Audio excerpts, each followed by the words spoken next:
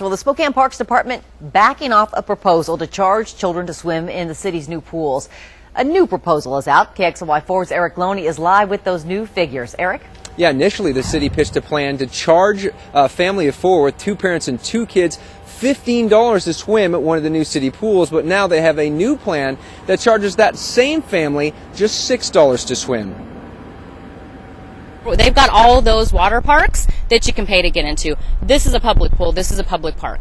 Natasha Fletcher was against a plan to charge kids to swim in Spokane's new city pools. That was absolutely ridiculous. Her daughters played at AM Cannon Park today where one of the new pools is under construction. I thought it was great. I was like, "Woo, that's exciting." But then I remembered the, you know, the cost that it's going to that they're going to have to get into the pools, and that's the part that's not exciting anymore. But the proposal to charge kids $2.50 and adults $5 to swim during some hours has changed.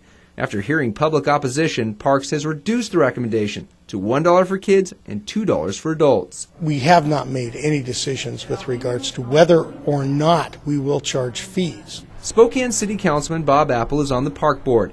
He says a final decision likely won't be made for a month. That I don't want to charge kids no more than no no more than one dollar, and I'm hoping we don't. Grandmother Ella Horseman and her granddaughter are okay with the latest proposal. A dollar would be fine. If it's a dollar, then it'll be really good.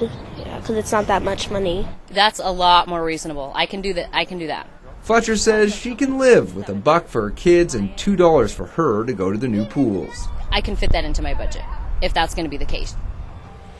Now, under this most recent proposal, would not take effect until next summer, so kids would still swim for free this summer. The Parks Board and Department says it's looking for sponsorships or scholarships to pay for kids that can't afford to swim, although the uh, Parks Department is looking or reserving the right to look at this issue again for the summer of 2011.